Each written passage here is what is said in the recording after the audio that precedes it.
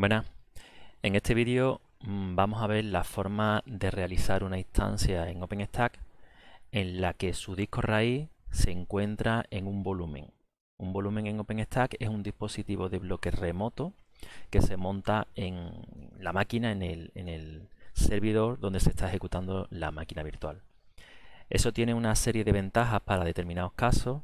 Eh, normalmente se utiliza el disco raíz de una máquina virtual sobre un volumen cuando nosotros queremos que esa instancia perdure en el tiempo, cuando nosotros queremos que esa instancia tenga, digamos, una vida eh, no efímera, no, una vida corta, como se ocurre en otros casos con una instancia, y no es el, mecanismo por defecto que, vosotros habéis utilizado en OpenStack, que como sabéis el mecanismo por defecto es que cuando yo creo una, una instancia desde una imagen o lo que se llama desde una imagen, lo que hace es que crea un fichero QKO2 en, eh, que se ubica localmente como una copia de, la imagen en el equipo donde se está ejecutando esa máquina virtual. Entonces, en el caso, digamos, de algunas de las instancias que nosotros vamos a decir durante el curso que creéis, las vamos a crear con, con volumen, entonces me parecía pertinente grabar este vídeo para explicaros. Entonces vamos a hacerlo todo desde Horizon, también si queréis podéis hacerlo esto desde la línea de comando utilizando el cliente de OpenStack. Pero en este caso, bueno, vamos a explicarlo cómo se hace desde Horizon. Que ahí lo tenéis, lo único que he hecho es lo capturado la, o sea, tengo la, pantalla en un tamaño un poco grande porque en Horizon no se, se ven las letras sino muy pequeñas y no se veía bien en el vídeo y entonces voy a tener que ir moviendo la pantalla para que, para que se vea bien. Ahí lo que voy a hacer, hay varias formas de hacerlo, voy a explicaros mm, las formas de hacerlo. En principio lo que vamos a hacer es que vamos aquí a la parte donde tenemos los volúmenes definidos y vamos a darle a crear volumen. Entonces lo que nos va a hacer es que nos va a mostrar este menú o esta ventana, ¿de acuerdo? En la que nosotros podemos ponerle, por ejemplo, un nombre en el que le voy a, como el disco raíz va a ser el que va a ir ahí, pues voy a ponerle, normalmente no, convendría ponerle el nombre de, de, lo, que, de lo que va a ser para distinguirlo, ¿no? Si no, automáticamente, eh, vamos, si no sería difícil, digamos, saber lo que, lo que hay ahí, ¿no?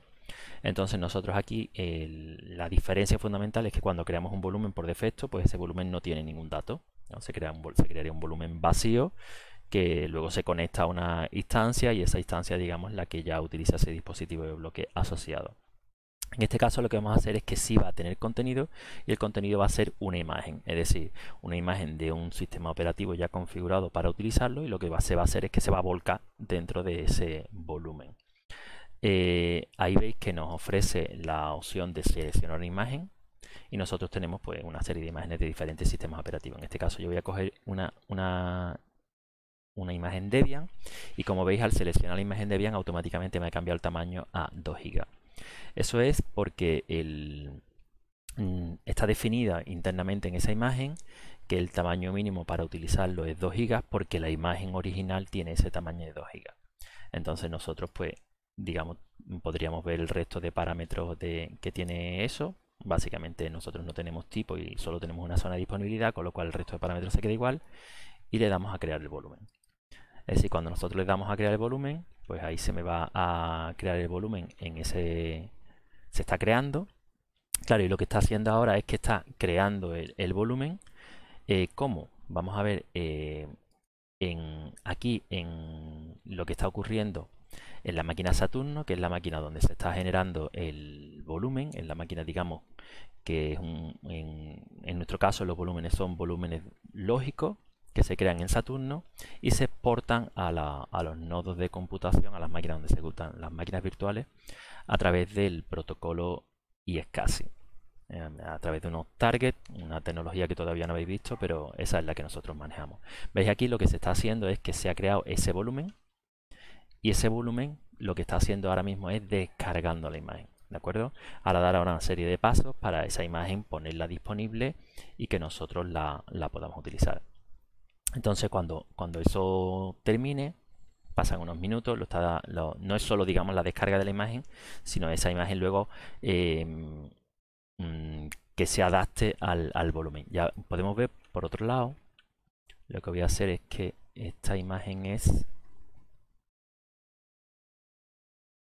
este es el identificador de la imagen que se ha creado, si no me equivoco. Entonces yo lo, podría hacer abajo, que también estoy en Saturno, es filtrar... Eh, ah, no, ese no es el tamaño, ese no es el identificador de la imagen. Eh, un momentito, lo voy a mirar en el en el navegador mientras he cogido simplemente el identificador es este otro vale el identificador de la, del volumen lógico que veis que se ha creado un volumen lógico ahí de 2 GB ese volumen lógico es el que ahora mismo se está descargando el contenido de la imagen para una vez que esté disponible poder instanciar la imagen tardamos un poquito más y ahora en breve estará disponible. Mientras en el otro lado simplemente lo, que aparece en el navegador es simplemente que está descargándolo. Veis que todavía está no está disponible.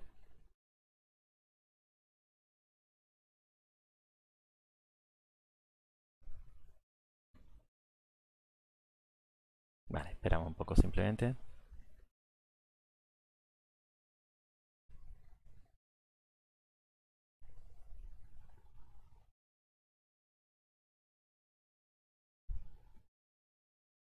Y ese volumen, bueno, aprovecho así para, comentarlo, ese volumen cuando termine, ahí, justamente haya terminado, em, veis los mensajes que han salido en los que, no, lo que nos dice, bueno, eso es lo que había tardado más en convertir, digamos, la imagen, se crea el, el volumen correctamente, ¿veis? Y aquí ya está disponible, es decir, ahora este volumen que aparece aquí, este volumen es un volumen que tiene en su interior un sistema operativo eh, que podemos utilizarlo. Y entonces si nos vamos nosotros al navegador, una vez que ya ha terminado, veis que pone ahí que está disponible y además nos pone esta opción. Es arrancable, es decir, es que tiene un sistema operativo dentro y entonces nos permite arrancar ese sistema operativo y es lo que vamos a hacer ahora. Nosotros aquí en, desplegamos este menú y tenemos esta opción en la que nosotros podemos ejecutarlo como una instancia. Al darle a ese, a ese menú, pues se nos abre el, menú que conoceréis de, ejecución de una instancia en la que ahora nosotros le ponemos pues un nombre. le voy a poner, por ejemplo, Debian Vol para decir, para especificar que, que lo estamos haciendo desde un volumen el nombre y veis que automáticamente aquí lo que me ha seleccionado es el origen de arranque, ¿vale? Me ha seleccionado volumen, ¿de acuerdo? Es decir, me ha seleccionado eh, un volumen que yo le voy a decir, eh, yo tengo dos opciones, es decir, a la hora de, asociar esta instancia es decirle que cuando la instancia se borre, se borre el volumen, normalmente no suelo utilizar esa opción, ¿vale? Porque ya os digo, si yo lo que quiero es que eh, el volumen digamos, pueda sobrevivir a la, vida de la instancia. En un determinado momento a mí lo que me interesa es poder eliminar la instancia, pero que ese volumen se quede como un volumen suelto, que en un momento dado puedo crear otra instancia nueva o puedo, asociarlo a, una, a, otra instancia si me, si me, hiciera falta. ¿De acuerdo? El, tamaño del, volumen eh, es 2 GB inicialmente. ¿De acuerdo? es 2 GB inicialmente, pero podría em, redimensionarlo aquí, ¿de acuerdo? Entonces aquí ahora voy a elegir un sabor. En este sabor eh, es importante, digamos, que el disco, el sabor tenga como mínimo el tamaño del volumen, pero de todas formas este, este tamaño que se va a utilizar va a ser el del volumen que se ha creado. En este caso va a ser 2 GB, con lo cual realmente, digamos, es la, RAM, los cores y demás características del sabor lo que vamos a utilizar. Yo en este caso, por ejemplo, voy a coger este sabor de que tiene 512 RAM, seleccionaría la red donde se va a ejecutar y luego el resto de parámetros serían la, los grupos de seguridad, la, clave SSH, etcétera, que, que como solo tengo uno, lo va a coger por defecto. Entonces lo que ahora, una vez que ya he ejecutado esta, mm, he seleccionado esta mm, esta instancia, en las instancias que aparecen ahí, me saldría como una instancia que se está construyendo. ¿vale? Si ahora lo que hacemos es eh, ver lo que aparece en el navegador, lo que nos aparece en, perdón, el navegador en, en la máquina Saturno, lo que nos ha hecho es que, ¿veis? que se ha asociado el volumen completamente. ¿Qué significa que se ha asociado ese volumen? Lo que significa es que se ha creado un target eh, y es casi que se ha exportado a uno de, los nodos de computación del, cloud y allí se ha creado una máquina virtual que utiliza como dispositivo de bloque. ¿Os acordáis que era esta? Este identificador es el del volumen y aquí se ha creado un target y es casi, ya os digo, es algo que todavía no conocéis, pero ya lo veréis. Básicamente es un protocolo que me permite montar un dispositivo de bloque remoto a través de la red. ¿no? Y entonces esa máquina eh, tiene este volumen lógico conectado remotamente. Em, si vuelvo al navegador, me aparece como que la máquina ya está activa. La máquina ya está activa. Y ya puedo acceder a ella. Para acceder a ella, evidentemente, como suele ser habitual, pues yo lo que tengo que hacer es asociar una IP flotante. Voy a coger, por ejemplo, esta a las 5 y accedería a la instancia. Para acceder a la instancia lo que voy a hacer es que me voy a salir un momentito de aquí, de la máquina Saturno. Y ahí en la parte inferior de la, de la terminal, pues voy a acceder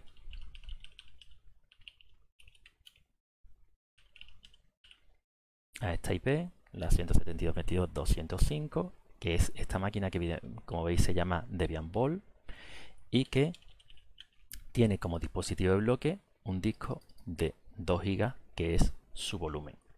¿De acuerdo? Es decir, hemos creado una instancia que tiene ese disco. Realmente la instancia lo ve igual. La instancia lo único que ve es eh, un disco donde tiene el sistema operativo y a priori no sabe si es un disco local que se está ejecutando en, el nodo de computación, en el hipervisor, o es un disco remoto. Eso lo sabemos nosotros, pero la máquina mm, actúa, digamos, independientemente. ¿Qué ventaja tiene? Ya os digo, eh, en el caso de, por ejemplo, yo quiera eh, cambiarle el sabor a esta máquina, o que yo, por ejemplo, sufriese un percance y esa máquina se me quedase inaccesible, podría eliminar la instancia y el volumen una vez desasociado podría asociarlo a otra máquina, montarlo y podría reconstruirlo. Podría redimensionar ese volumen y podría hacer muchas cosas. ¿no? Y entonces en determinados casos nos resulta muy útil y por eso el, explicar la forma de hacerlo. Em, también, y aunque no lo voy a hacer, os lo voy a enseñar, también podría yo alternativamente irme aquí a instancia y en instancia lanzar, darle a lanzar una instancia, que sería realmente el, mismo menú. Vale, ahí no le he dado bien. Lanzar una instancia. Veis que ahí sale el... Este. Sale el menú aquí. Y entonces simplemente pues lo que tendría que hacer es eh, ponerle un nombre por supuesto. Y aquí en origen, lo mismo que me ha salido en, en la otra ocasión, veis que por defecto sale imagen pues nosotros tendríamos que poner un volumen, ¿vale?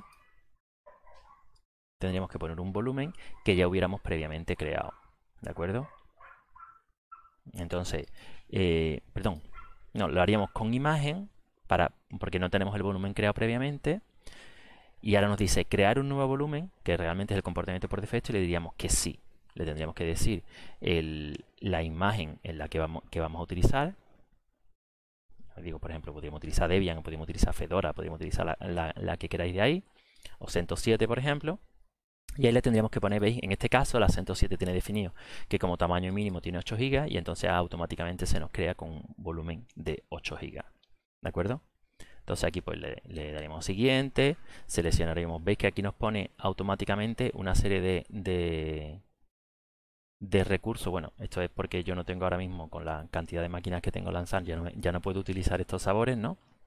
Eh, seleccionaría un sabor y demás, ¿no? Y, lo iría. Y entonces lo que, lo que haría en este caso, eh, poniendo el origen así poniéndole aquí el tamaño, sería crear al vuelo el volumen que nosotros hemos creado previamente. Es decir, nosotros lo hemos hecho antes, digamos, para que entendáis bien, en dos pasos. Nos hemos ido a volúmenes, hemos creado allí la imagen, o sea, hemos creado el volumen con la imagen volcando el contenido y luego hemos ejecutado ese volumen como una, como una instancia. Esa es una opción. La otra es hacerlo eh, con, una, con una imagen directamente aquí. ¿Vale? Bueno, pues era simplemente eso lo que os quería enseñar.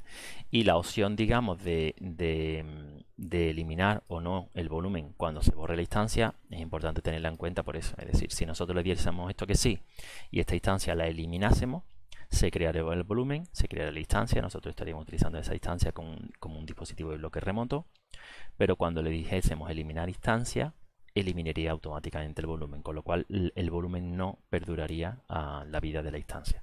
Depende del caso de uso, es un, es un caso u otro. Si no lo tenéis claro, no le deis a, a borrar el volumen cuando se borre la instancia.